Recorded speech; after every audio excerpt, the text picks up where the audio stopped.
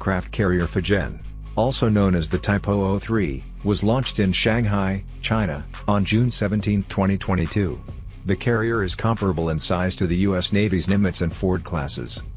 China has launched its largest and most impressive aircraft carrier to date. The Type 003 carrier rivals the U.S. Navy's carriers in size, the first non-American carrier to do so. The carrier is a growing part of China's naval ambitions. A new aircraft carrier, Type 003, has been launched. They are similar in size to the U.S. Navy's Ford and Nimitz class supercarriers. It is the first non-U.S. airline in the world to approach. The Type 003 is comparable in size to the U.S. Navy's Nimitz and Ford classes and the designs are similar in many ways. At the same time, it is an evolution of the first two Chinese Navy PLAN, aircraft carriers. It is built on Soviet technology. The first, the Type 001 Liaoning, CV-16, is the former Kuznetsov-class aircraft carrier, Varyag. The then unfinished vessel was sold to China as scrap in 1998, whereupon it was completed and entered Chinese service in 2012. The second aircraft carrier, the Type 002 Shandong, CV-17, is a locally built vessel. It has a lot of minor improvements over the first ship but is on par. The most noticeable difference in the Type 003 is the switch from ski jump to catapult. Older carriers launched aircraft under their own power from the ramp in front of the flight deck. The Type 003 will have three catapults, much like the U.S. Navy aircraft carrier. Open Source Intelligence, OSINT, confirmed that the carrier, named Fujian, was launched on June 17 in Shanghai, China. Naval News has been following its construction prior to launch and has been watching the leading indicators.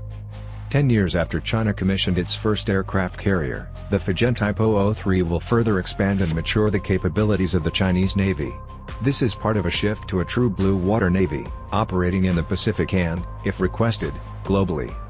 The Type 003 carrier will be the newest and best carrier in China's service. It is expected to carry the latest J-35 fighter, China's answer to the F-35C Lightning II. However, the J-35 is a twin-engine aircraft, a characteristic traditionally favored for naval operations. Arriving late to the game, Chinese designers benefited from decades of research and development by others. Going through the intermediate steps, this new operator incorporates a lot of the latest thinking. Like the U.S. Navy's Ford-class carriers, the catapults are EMALS, electromagnetic aircraft launch system. It uses electricity instead of traditional steam, which should provide several advantages. The system takes up less space and should be able to launch aircraft at higher speeds. At the same time we must not underestimate the importance of the Chinese Navy's own lessons. They have operated the carrier for 10 years and have developed training, procedures and infrastructure. In recent months, the Liaoning's first aircraft carrier has been operating in the open waters of the western Pacific. Japanese defense officials noted that more than 100 aircraft launches had been carried out. This shows a significant operational tempo. This is an indication of growing trust and credibility in the carrier game. At the same time China is building infrastructure to support operators.